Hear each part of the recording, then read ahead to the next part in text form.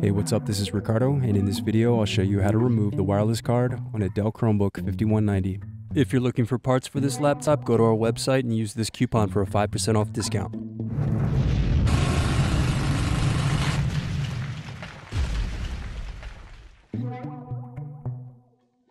First unscrew, then use fingers to pry apart bottom base.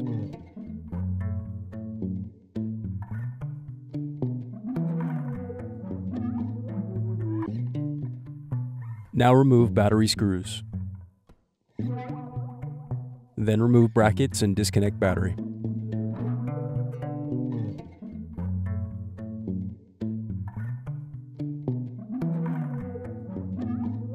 Then unscrew and remove bracket. Then disconnect and remove wireless card.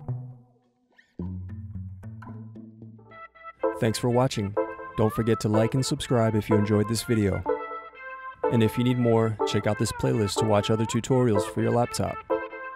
You can also click here to find parts for your laptop at partspeople.com.